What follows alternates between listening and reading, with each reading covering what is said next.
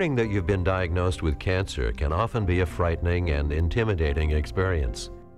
Cancer is a disease that affects not only you, but friends and family as well. At First Coast Oncology, we understand the many intricate needs of the cancer patient, as well as his friends and family, and can provide the resources necessary to diagnose, treat, and support the cancer patient. We believe that it's our responsibility to treat our patients with the most advanced radiation treatment available in a compassionate and respectful environment. The healing of not only the cancer itself, but also working with many of the emotional and physical issues that patients have to deal with, besides just the radiation, these are the things we focus and work on, and we are actually good at getting people through difficult problems all the time and getting them through it successfully. The radiation therapy team at First Coast Oncology works hand in hand with your other physicians to ensure the best possible treatment for every patient. One of the first questions most patients have is about the side effects of radiation therapy. Because each patient is treated for different kinds or locations of cancer, side effects will be different for each patient.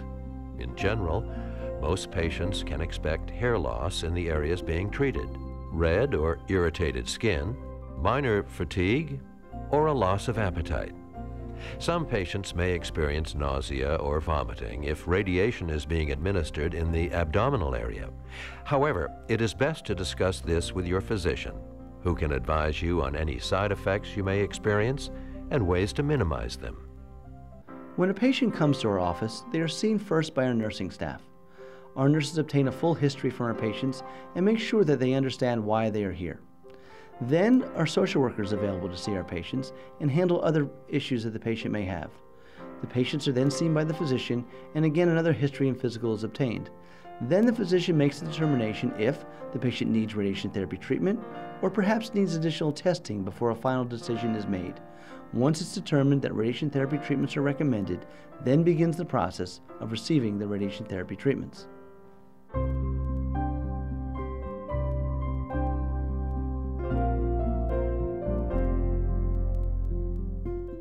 The most common type of treatment that our patients receive in our office is external beam radiotherapy. A linear accelerator is like an x ray machine, but it puts out x ray beams that are much more intense than a conventional chest x ray beam. The first step in the process is to do a simulation. After these simulations are done, then the data that we obtain from the simulation is given to our physics staff. Well, once a patient has gone through simulation and CT simulation, we actually do the treatment planning where we plan exactly how to treat the patient. That is, what angles the beam should come in, how long the, the treatment time should be. With the advanced electronics and computers that we have, we can see the patient in 3D. We can see their internal organs, we can see the target we wish to hit, and the sensitive organs we want to avoid. We take our technical expertise, that is the physics staff, physics dosimetry staff, and we sit with the medical doctor and with their medical expertise and our technical expertise, we determine what the best plan actually is. And the physician will come back and say, well, let's try this or let's change this. And what we do is we fine tune the plan until it's the best plan for that patient. When the patient comes for treatment, they are brought into a room where the linear accelerator is. This is a very large room with very thick cement walls. These thick cement walls are used to protect people in adjacent rooms from receiving any radiation. The patient is placed on the radiation therapy table, and they may be put into a device that helps them stay in the same position every day. Things that are called a mold or a mask precisely position the part of the body that we are treating from day to day. Once the person is on the machine, they are then centered and aligned, utilizing both lasers and x rays to be sure that the tumor is centered in the radiation therapy beam. Then, the therapists leave the room and turn the machine on for a given period of time as prescribed by the physician and determined by our physics staff. The radiation therapy treatments are painless. They're just like getting an x-ray picture. Patients are usually surprised about the simplicity of the treatment because all they really notice is that they come into the room and lay down. We usually do all the work around them and then within usually 5 to 15 minutes, depending on where they're being treated, they're done with their treatment and all they had to do was lay there. After a few weeks, most patients do experience some side effects of radiation, and these are usually limited to the area that we are treating. For instance, if we are treating the abdomen, then patients usually experience nausea. If we are treating the chest, then the patients may experience difficulty swallowing. If we are treating a brain tumor, then patients may experience some hair loss. But when we treat a brain tumor, we don't see diarrhea, and when we treat the pelvis, we don't see any hair loss. Image guided radiotherapy, or what we call IGRT, allows us to be more precise in the way we deliver radiation therapy treatments. With the patient on the treatment table, two high resolution X ray images are obtained. Using flat panel monitors, the physician compares these current images with the CT dataset that was obtained at the time of the original simulation. The computer determines exactly where in space the patient is and then positions the patient up, down, left, or right so that the tumor will be at the exact center of the radiation therapy beam. With the patient precisely and safely positioned, the radiation beam is turned on. During radiation therapy treatments, their position is continuously monitored for accuracy, and we can turn off the beam should we detect any movement. This level of accuracy allows us to deliver treatment with higher precision and greater confidence. Intensity modulated radiotherapy, or IMRT, is a technique to deliver radiation therapy treatments more precisely. In the head of the linear accelerator are many small leaves. These leaves are opened or closed in order to help shape the radiation beam.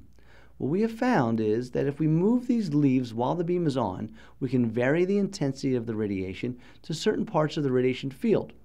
By varying the intensity of the radiation in the areas of critical structures and where the tumor is, we can deliver higher doses of radiation to the tumor and lower doses of radiation to the normal structures that are adjacent to the tumor. PET-CT imaging is a powerful hybrid approach to screening and diagnosis that can help us make more informed decisions about your care.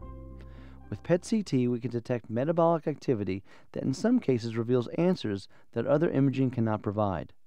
The combined use of PET and CT scans can determine whether a tumor is malignant or not, the extent of growth, and sometimes help avoid unwarranted surgery. They are also useful in monitoring the effectiveness of radiation therapy and chemotherapy. You will be asked not to eat for four hours prior to your appointment and to refrain from exercise for 24 hours as well. During the procedure, which usually takes less than an hour, you will receive a dose of radioactive sugar via intravenous injection. The cancer cells take up this radioactive sugar.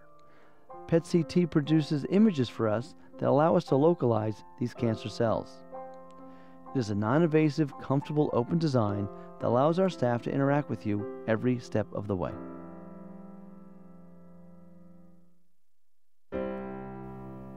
Brachytherapy is a treatment for cancer that puts radiation inside the tumor. The way we do this is by putting catheters or radiation sources directly into tumors. If it's a catheter that we're using, we put the catheter into the tumor, and then we take the radiation source and put it into the catheter right into the center of the tumor. The advantage of brachytherapy over external beam radiation therapy is that by treating the tumor from within, we are giving less radiation to the structures outside of the tumor.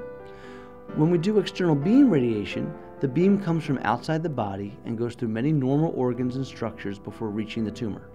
The brachytherapy source, however, is inside the tumor and the radiation is dissipated before it leaves the organ that the tumor is in. Our number one philosophy is that the patients come first. We are concerned with the patient's well being, their comfort level, and the quality of treatment. These needs are foremost in my mind and guide the way we practice as a group. A cancer diagnosis is a life changing event. Many cancer patients and their families experience temporary or even permanent economic hardship during and after treatments. First Coast Oncology has established the First Coast Cancer Foundation to help ease this burden. Please call 880 5522 for more information.